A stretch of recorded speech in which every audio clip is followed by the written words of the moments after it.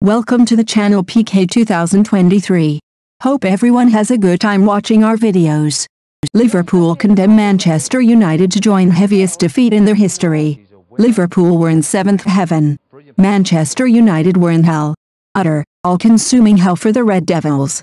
There are some defeats that are so traumatic they eat into the fabric of a team, of a club, of an institution.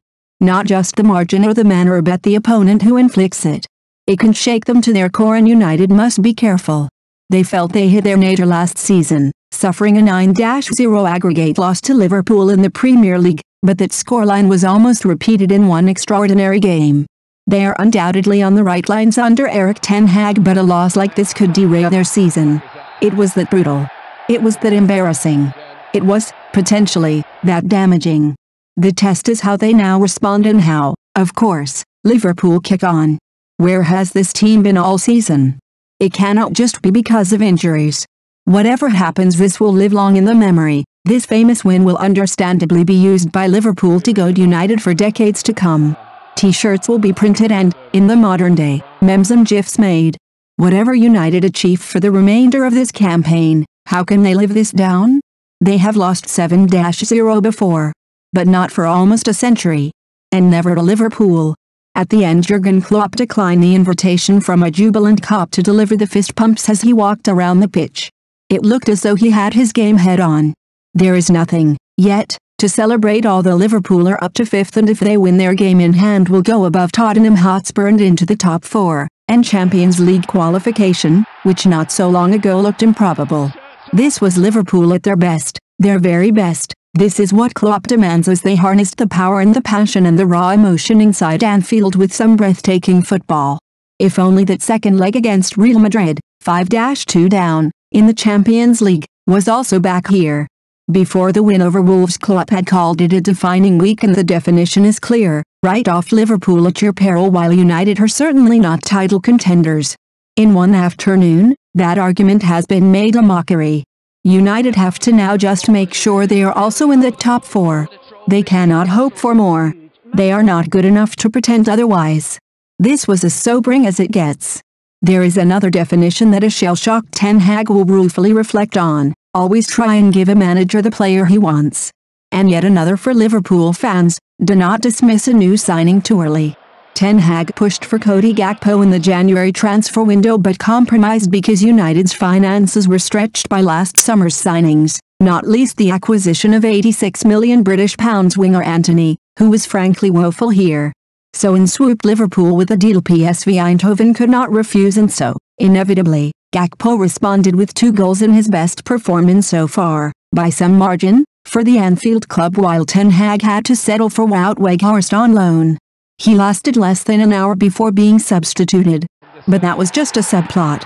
As brilliantly thrilling as Liverpool's attacking play was in the second half it still did not explain how United folded with captain Bruno Fernandes losing his head.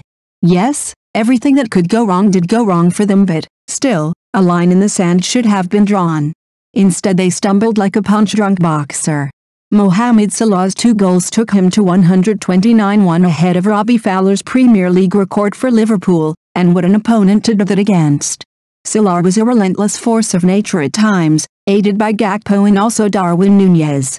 Two goals for each of them to end, suddenly, a new and exciting front three has emerged for Liverpool to be augmented by Diogo Jota and Luis Diaz. The final goal came from another forward, substitute Roberto Firmino, who was once so important but has now been edged out of that equation. It makes a mockery of Liverpool's struggles. What will alarm Ten Hag is not just the defeat, and the horrific margin of it, but also that utter capitulation after a first half in which, arguably, United were the better side.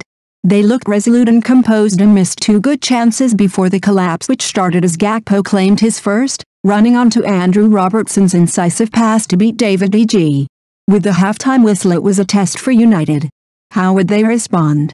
No one expected it to be with a crass, hapless performance as their defense crumbled in the face of an onslaught that became ever more frantic and relentless. It was awesome at times but that is no excuse for United. Not for the last time, United failed to clear, Nunez headed home, but it was Gakpo's second goal that summed up the gulf. He set Liverpool off on the counter-attack, slipping the ball to Salah who twisted and turned and landed Lisandro Martinez on his backside before picking out Gakpo who had continued his run and deftly lifted the ball beyond De Gea. There was more, Salah struck with an instinctive finish, after the ball ricocheted to him off substitute Scott McTominay, and he was left unmarked. De Gea was beaten when Nunez rose to glance home a Jordan Henderson cross.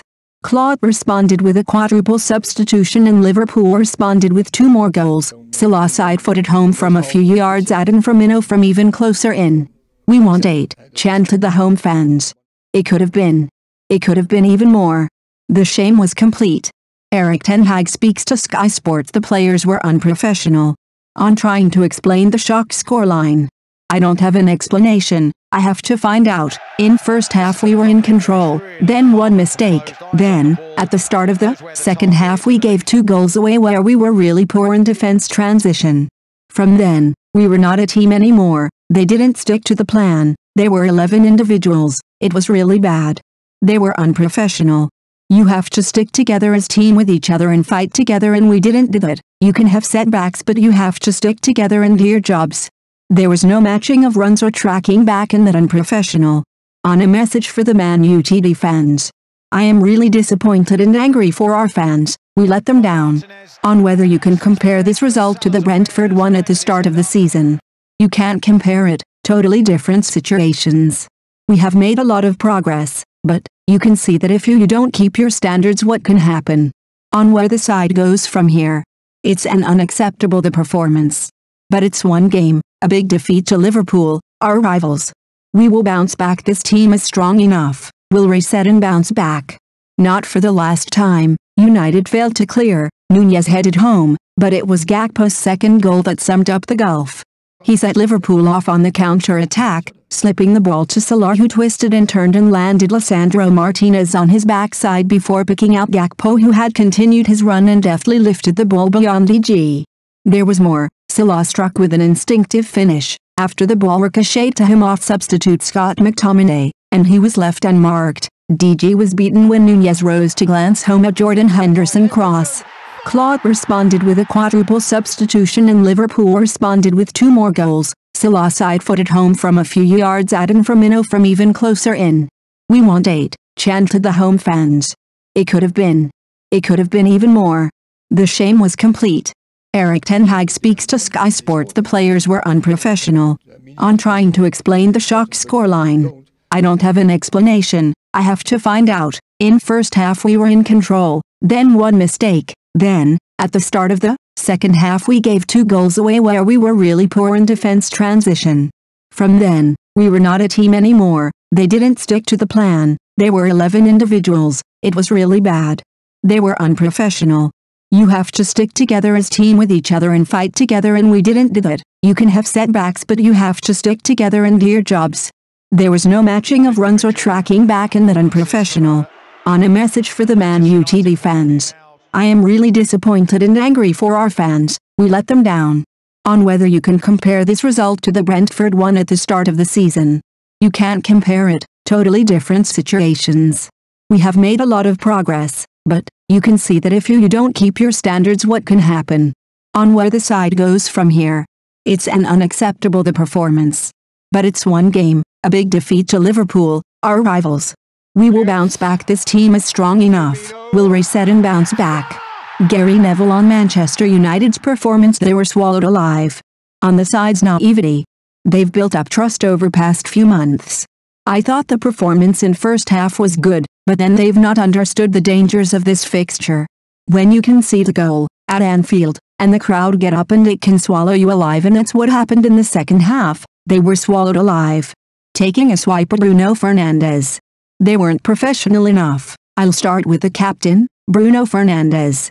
I am fed up of the sight of him throwing his arms around, whinging at everyone, he has to put in a captain's performance, that wasn't a captain's performance. I think Ten Hag will deal with that performance in the next few days. One last word. They've earned enough respect the past few weeks to say that's a blip. Jurgen Klopp speaks to Sky Sports a proper show of what we can be. On the result. No words. Spectacular football game. Outstanding. We played top football against the team in form. The second half the start was pretty good and the end was pretty good. That is football, it can happen. We take all the positives from tonight, bar the scoreline, which was a freak. On the performance. It was the push we wanted. It puts us in the right direction. Everyone has to know we are still around. It wasn't the case for a while but tonight was a proper show of what we can be and what we have to be from now on. On Mohamed Salah's new goal-scoring record. 129 goals, that is insane. What an unbelievable number. He is a special player. We appreciate him now but in the future people will look back and be wow, we witnessed something really special. Thank you for watching our video. Please subscribe channel, comment and sharing our videos.